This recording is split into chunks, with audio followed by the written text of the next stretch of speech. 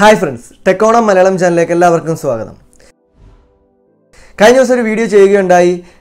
solar power സിസ്റ്റത്തെ പറ്റി അതായത് അതിൻ്റെ types on grid solar system off grid solar system അതെന്തൊക്കെയാണ് എന്നൊക്കെ ഒരു വീഡിയോ ചെയ്യുകയുണ്ടായി അപ്പോൾ ഇന്നത്തെ വീഡിയോയിൽ നമ്മൾ നോക്കാൻ പോകുന്നത് ഈ ഒരു സോളാർ എനർജി സിസ്റ്റം നമ്മൾ എങ്ങനെ ഡിസൈൻ ചെയ്യാമെന്നാണ് ഒരു ഓട്ടോ കാഡ് ഫയൽ വെച്ച് അതിൻ്റെ എസ് എൽ ഡിയും അതിൻ്റെ ലേ ഔട്ടും അതിൻ്റെ ടോപ്പ് വ്യൂവും അതിൻ്റെ സോളാർ എത്ര പി പി വി സെൽസ് നമുക്ക് ആവശ്യമാണെന്ന് എങ്ങനെ കാൽക്കുലേറ്റ് ചെയ്യാം ഏത് ഇൻവെർട്ടർ സെലക്ട് ചെയ്യണമെന്ന് എങ്ങനെ കാൽക്കുലേറ്റ് ചെയ്യാം എത്ര ഒരു ഒരു ത്രീ കിലോ വാട്ട്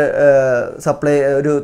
എനർജി സിസ്റ്റത്തിനാണ് എങ്കിൽ പ്രൊജക്റ്റിനാണ് എങ്കിൽ നമ്മൾ എത്ര പി വി അതിനകത്ത് ഉപയോഗിക്കും ഏത് ഇൻവെർട്ടർ യൂസ് ചെയ്യും ആ പി വിയിൽ എങ്ങനെ നമ്മൾ സീരീസ് പാരൽ കണക്ഷൻസ് കണക്ട് ചെയ്യും അതിൽ എന്തൊക്കെ വേറെ നമ്മൾ ചിന്തിക്കേണ്ടതുണ്ട് ഇതിനെപ്പറ്റിയൊക്കെയാണ് ഇന്നത്തെ വീഡിയോ നമ്മൾ നോക്കാൻ പോകുന്നത് അപ്പോൾ ഇന്നത്തെ വീഡിയോയിൽ നമ്മൾ നോക്കുന്നതിന് മുമ്പ് നിങ്ങൾ ഞങ്ങളുടെ ചാനൽ സബ്സ്ക്രൈബ് ചെയ്തിട്ടില്ലെങ്കിൽ ഞങ്ങളുടെ ചാനൽ സബ്സ്ക്രൈബ് ചെയ്യുക അതുപോലെ ഞങ്ങളുടെ വീഡിയോകൾ അപ്പം ലഭിക്കുന്നതിന് വേണ്ടി ആ ബെല്ലൈക്കൺ കൂടെ ഒന്ന് പ്രസ് ചെയ്യുക അപ്പോൾ നമുക്ക് ഡിസൈനിലേക്ക് പോകാം ഒരു three kilowatt solar power plant എങ്ങനെ നമുക്ക് ഒരു ഓൺ ഗ്രിഡ് പവർ പ്ലാന്റ് എങ്ങനെ ഡിസൈൻ ചെയ്യാം എന്നാണ് കാണിക്കുന്നത് ഇത് ഓൺ ഗ്രിഡ് ആയതുകൊണ്ട് തന്നെ ഇതിൽ നമ്മളൊരു ബാറ്ററി സെഗ്മെന്റ് ഇല്ല നമ്മൾ ഒരു പി വി സെൽസും ഒരു ജംഗ്ഷൻ ബോക്സും ഇൻവേർട്ടറും ഒരു ഡിസ്ട്രിബ്യൂഷൻ ബോക്സും പിന്നെ നമ്മൾ നേരെ പാനലിലേക്കുമാണ് കൊടുക്കുക അപ്പോൾ ഇതിന്റെ മെയിൻ ഒരു ചലഞ്ച് എന്ന് പറയുന്നത് നമ്മൾ ഡിസൈൻ ചെയ്യുമ്പോൾ അറിഞ്ഞിരിക്കേണ്ട ഒരു കാര്യം എന്ന് പറയുന്നത് എത്ര സോളാർ പാനൽസ് നമുക്ക് വേണം ഇന്ന ഒരു ത്രീ കിലോ വാട്ടിന് എത്ര വേണം എന്നത് സെലക്ട് ചെയ്യുന്നത് നമുക്ക് അറിഞ്ഞിരിക്കണം പിന്നെ അതനുസരിച്ച് നമുക്കൊരു ഇൻവേർട്ടർ സെലക്ട് ചെയ്യുന്നത് അറിഞ്ഞിരിക്കണം അപ്പം നമ്മൾ ശരിക്കും പറഞ്ഞാൽ സോളാർ പാനൽസ് സെലക്ട് ചെയ്യുന്നത് ഇൻവെർട്ടറിന്റെ ഒരു കാൽക്കുലേഷൻ അനുസരിച്ചാണ് ആദ്യം നമ്മൾ സെലക്ട് ചെയ്യുന്നത് എപ്പോഴും ഇൻവെർട്ടർ തന്നെയായിരിക്കും അപ്പോൾ നമ്മളൊരു നമുക്ക് ത്രീ കിലോ വാട്ടിന് വേണ്ട ഒരു ഇൻവെർട്ടറാണ് ആദ്യം നമ്മൾ സെലക്ട് ചെയ്യേണ്ടത്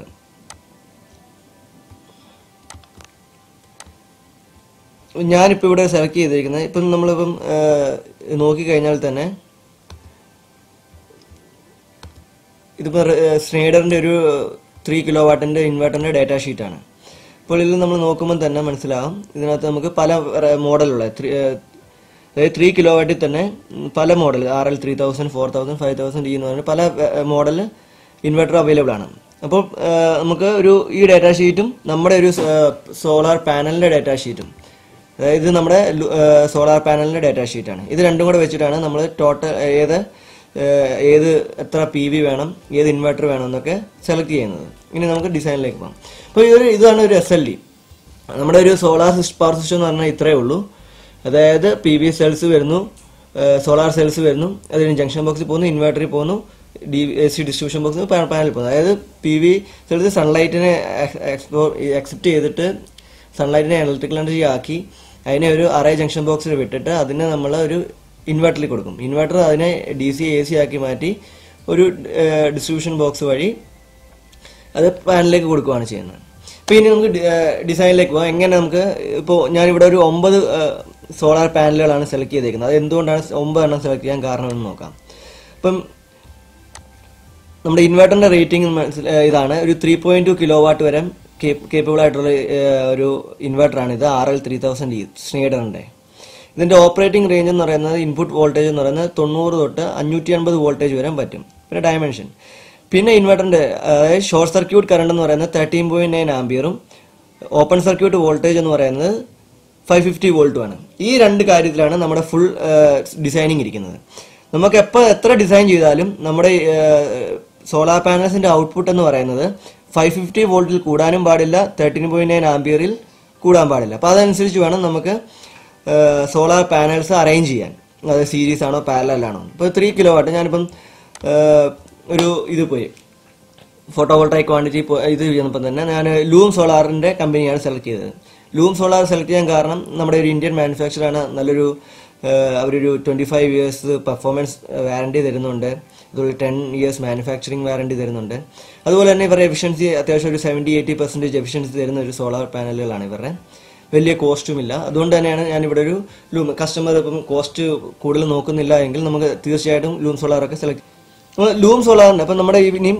ഒരു ഫോ പി വി സെല്ലിൻ്റെ ഇത് നോക്കാം ഒരു പി വി പാനലിൻ്റെ ക്യാരക്ടറിസ്റ്റിക്സ്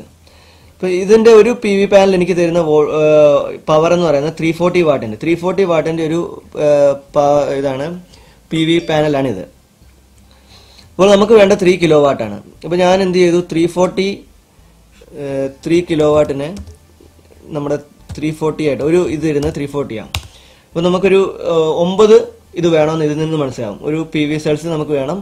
ഒരു ത്രീ കിലോ വാട്ടിൻ്റെ ഒരു ത്രീ ഫോർട്ടി ഫിഫ്റ്റി വാട്ടിൻ്റെ വെച്ചിട്ട് നമുക്ക് ഉണ്ടാക്കണമെങ്കിൽ അപ്പോൾ ഞാനിവിടെ ഒരു ഒമ്പതെണ്ണം സെലക്ട് ചെയ്തു അപ്പോൾ ഇനി നമുക്ക് ശ്രദ്ധിക്കേണ്ട കാര്യം നമ്മുടെ മുമ്പേ പറഞ്ഞതുപോലെ തന്നെ ഇൻവേർട്ടറിൻ്റെ ഷോർട്ട് സർക്യൂട്ട് കറണ്ടും ഓപ്പൺ സർക്യൂട്ട് വോൾട്ടേജിനും കൂടാൻ പാടില്ല ഇത് ഒമ്പതെണ്ണം കണക്ട് ചെയ്ത് കഴിയുമ്പം അപ്പം ഇതിൻ്റെ ഒരു പി വി സെല്ലിൽ തരുന്ന ഓപ്പൺ സർക്യൂട്ട് വോൾട്ടേജ് എന്ന് പറയുന്നത് forty four point nine one വോൾട്ടും ഷോർട്ട് സർക്യൂട്ട് കറണ്ട് എന്ന് പറയുന്നത് നയൻ പോയിന്റ് ത്രീ വൺ ആംബിയറുമാണ് അപ്പോൾ ഇനി നമുക്ക് എന്നിട്ട് നോക്കിക്കഴിയുമ്പോൾ ഇപ്പം നമ്മൾ ഒമ്പതെണ്ണം സീരീസ് ആയിട്ടാണ് കണക്ട് ചെയ്തിരിക്കുന്നത് ഒമ്പത് P V S cells series ആയിട്ട് കണക്ട് ചെയ്തു സീരീസ് ആയിട്ട് കണക്ട് ചെയ്തുകൊണ്ട് തന്നെ ഇതിന്റെ കറണ്ട് എന്ന് പറയുന്നത് സെയിം ആയിരിക്കും അതുകൊണ്ട് തന്നെ നമുക്ക് ഈ nine point three one ampere output ഇവിടെ കിട്ടും അപ്പോൾ കറണ്ടിന്റെ നമുക്ക് പ്രശ്നമില്ല കാരണം നമ്മുടെ inverter thirteen point nine ampere വരെ കുഴപ്പമില്ല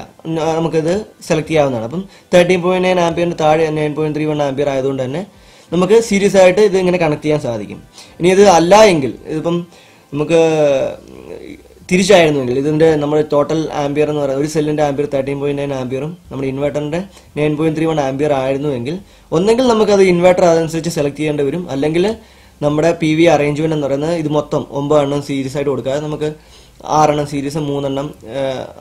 ഒരു ആറെണ്ണം സീരീസും പിന്നെ മൂന്നെണ്ണം സീരീസ് ആയിട്ട് പിന്നെ രണ്ടെണ്ണം കൂടെ പാരലാക്കി അങ്ങനെയൊക്കെ നമുക്ക് ഡിസൈൻ ചെയ്യാൻ പറ്റും ഇവിടെ നമുക്കത് പ്രശ്നമില്ല ത്രീ കിലോ വാട്ടിന് ഈ ഒരു പി വി സെല്ലും പി വിയുടെ മോഡലും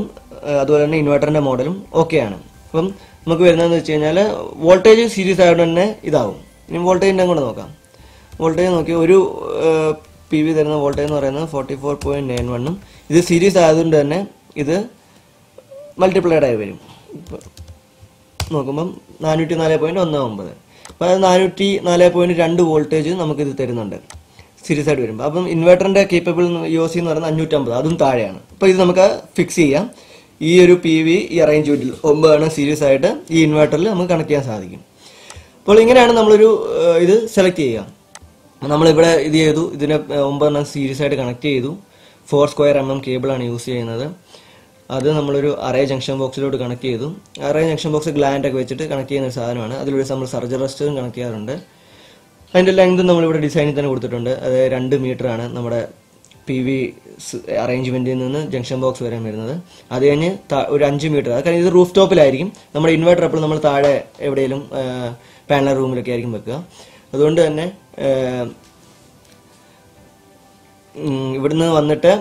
അത് നമ്മുടെ ഇൻവെർട്ടറിലേക്ക് വരുന്നത് അതൊരു അഞ്ച് മീറ്റർ ഉണ്ട് ഇൻവെർട്ടറിൽ നിന്ന് നമ്മുടെ എ സി ഡിസ്ട്രിബ്യൂഷൻ ബോക്സിലേക്ക് ഒരു അഞ്ച് മീറ്റർ അത് കഴിഞ്ഞ് പാനൽ ക്ലൈൻ പാനൽ എവിടെയാണോ അവിടേക്ക് നമുക്ക് കണക്ട് ചെയ്യാം ഇതാണ് ഒരു സോളാർ പവർ സിസ്റ്റത്തിൻ്റെ എസ് എൽ ഡി ഡിസൈൻ എന്ന് പറയുന്നത് നമ്മളിതിന് പാനൽ അറേഞ്ച്മെൻ്റ് ഒരു ടോപ്പ് വ്യൂ രീതിയിൽ നോക്കിയാൽ ഇപ്പം നമ്മളിവിടെ ഒരു ഒമ്പത് സെൽസാണ് യൂസ് ചെയ്തിരിക്കുന്നത് അപ്പം ഇവിടെ ഒന്ന് രണ്ട് മൂന്ന് നാല് അഞ്ച് ആറ് ഏഴ് എട്ട് ഒമ്പത് അപ്പോൾ ഒമ്പത് സെൽസ് നമുക്ക് ഇങ്ങനെ ഒരു റൂഫ് ടോപ്പ് ഇതിപ്പം ഒരു വീടിൻ്റെയോ അല്ലെങ്കിൽ ഏതെങ്കിലും ഓഫീസിൻ്റെ ഒക്കെ റൂഫ് ടോപ്പ് ആണെങ്കിൽ നമ്മൾ അതിൻ്റെ അളന്നിട്ട് മെഷർമെൻറ്റ് ചെയ്തിട്ട് അതനുസരിച്ച് അത് നമ്മൾ ഇത് നമുക്ക് അതിൻ്റെ കാറ്റലോഗിൽ തന്നെ നമുക്ക് അറിയാം ഒരു പി വിയുടെ ഹൈറ്റ് ലെങ്ത് വിടുത്ത് ഹൈറ്റ് അപ്പം ഈ ഒരു സോളാർ പാനലിൻ്റെ ലെങ്ത് എന്ന് പറയുന്നത് ആയിരത്തി തൊള്ളായിരത്തി അറുപത്തഞ്ച് എം എമ്മും ലെങ്തും തൊള്ളായിരത്തി തൊണ്ണൂറ് എം എം വിടുത്തും നാൽപ്പത് എം എം ഹൈറ്റുമാണ് അപ്പോൾ അതനുസരിച്ചാണ് നമ്മളിത് ഡിസൈൻ ചെയ്യുന്നത് നമ്മുടെ ഈ ഒരു റൂഫ് ടോപ്പിൽ ഇത് ഇത്ര ലെങ്തിൽ ഫിറ്റ് ആകുമോ എന്നൊക്കെ നമ്മൾ ഓൾറെഡി നമ്മൾ ഒരു ഡിസൈൻ ചെയ്യുന്നതിന് മുമ്പ് നമ്മൾ ആ എവിടെയാണ് ഇൻസ്റ്റാൾ ചെയ്യേണ്ടത് അവിടുത്തെ നമ്മൾ മെഷർമെൻറ്റ്സ് ഒക്കെ എടുത്തുകൊണ്ട് വരാറുണ്ട്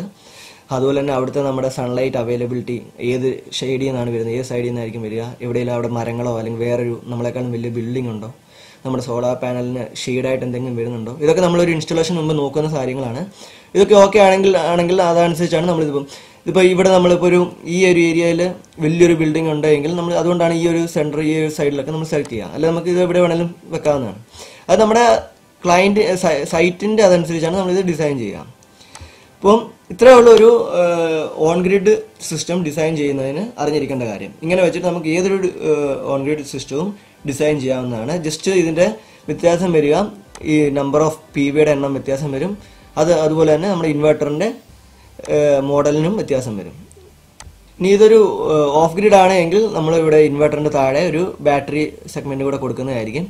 അത് നമുക്ക് എത്ര മണിക്കൂർ ബാക്കപ്പ് വേണം എന്നനുസരിച്ച് ഡിപ്പെൻഡ് ചെയ്തിട്ടായിരിക്കും നമ്മൾ ബാറ്ററി സെലക്ട് ചെയ്യാം അപ്പം ഒരു ബാറ്ററി എങ്ങനെ സെലക്ട് ചെയ്യാമെന്ന് ഞാൻ ഓൾറെഡി വീഡിയോ ചെയ്തിട്ടുണ്ട് അപ്പോൾ ആ ഒരു കാൽക്കുലേഷൻ അനുസരിച്ച് തന്നെ നമ്മുടെ ലോഡ് കാൽക്കുലേറ്റ് ചെയ്തിട്ട് അതനുസരിച്ച് തന്നെയാണ് നമ്മുടെ ബാക്കപ്പും കാൽക്കുലേറ്റ് ചെയ്ത് അനുസരിച്ചാണ് നമ്മൾ ബാക്ക് ബാറ്ററി ഏത് ഏച്ചിൻ്റെ ബാറ്ററി ഏത് വോൾട്ടിൻ്റെ ബാറ്ററി വേണമെന്നൊക്കെ നമ്മൾ തീരുമാനിക്കുന്നത് അപ്പോൾ ആ വീഡിയോ നിങ്ങൾക്ക് കാണണമെങ്കിൽ നിങ്ങൾക്ക് ഡിസ്ക്രിപ്ഷനിൽ ലിങ്ക് കൊടുക്കാം അതിൽ നിന്ന് കയറി കാണാവുന്നതാണ് അപ്പോൾ ഇതിൽ നിന്ന് നിങ്ങൾക്ക് ഒരു എങ്ങനെ ഒരു സോളാർ ഡിസൈൻ ചെയ്യാമെന്ന് മനസ്സിലായി എന്ന് പ്രതീക്ഷിക്കുന്നു ഈ വീഡിയോ ഇഷ്ടപ്പെട്ടെങ്കിൽ ഞങ്ങളുടെ ചാനൽ സബ്സ്ക്രൈബ് ചെയ്യുക सपोर्ट चाहिएगा थैंक यू